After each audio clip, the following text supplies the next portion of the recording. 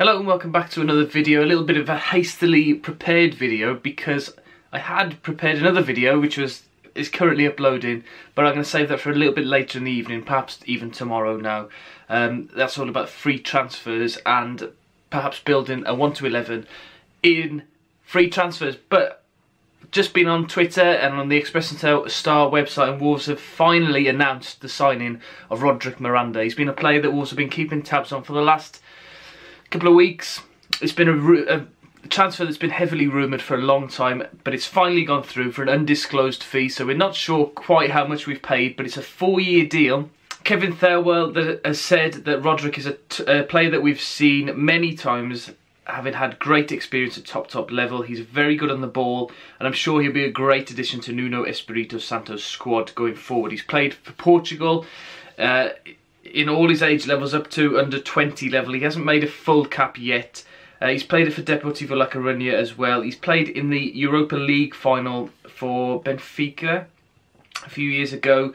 But he's been at Rio Ave for the last four years. He's played 72 times for them. So, not at the top of the Portuguese league. He said himself that he's got a good relationship with Nuno, but also he's spoken to Ivan Cavaleiro about living in Wolverhampton as a whole and finding out about the place in general. He seems quite enthusiastic about the project at the club, which perhaps suggests that Nuno's doing a good job at selling the project to players, uh, and hopefully we'll start to see a couple more players coming in.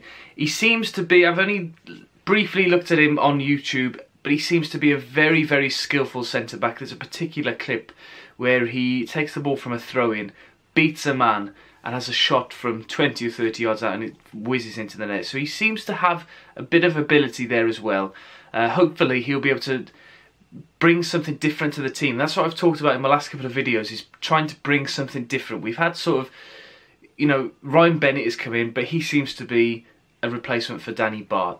This player now, Miranda, looks as if he could be a ball-playing centre-back, somebody who can take the ball out of defence, something that we've missed well, to be honest, that I've never seen at the Wolves.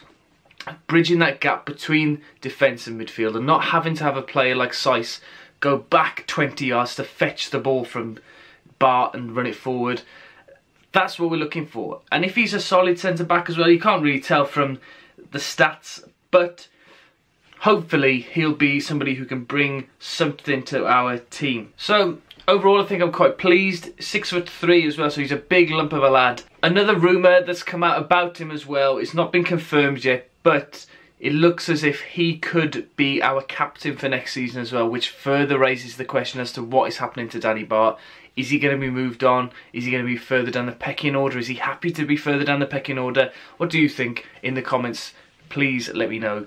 It's an interesting time now. Start Things are starting to get moving.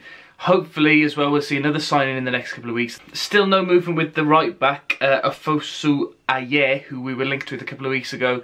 There were reports that he was having a medical and that the deal was going to go through. Whether that's fallen through, I'm not quite sure yet, but we'll bring you any updates as soon as they come in. The Wolves Twitter announced earlier on today that they're going to launch the new website on Thursday the 15th of June. The kit is expected to be announced around about the same time. Now, I don't know whether it's going to be the same day or the day after. So keep an eye out for that. It could be on sale this weekend. I doubt it, though. I think usually there's a bit of a gap between the announcement and being able to buy it. So, thank you very much for watching. Please like, please subscribe for regular updates and reaction to these signings. I'm quite enthused by this signing. I'm disappointed with his hair, though, because the pictures that I'd seen, he had a big curly mop and he seems to be quite stylish. Thank you very much for watching. I'll see you soon. Don't forget to watch out for that other video that's been is going to be released later on tonight about the free transfers that are available from the Premier League this summer. See you soon.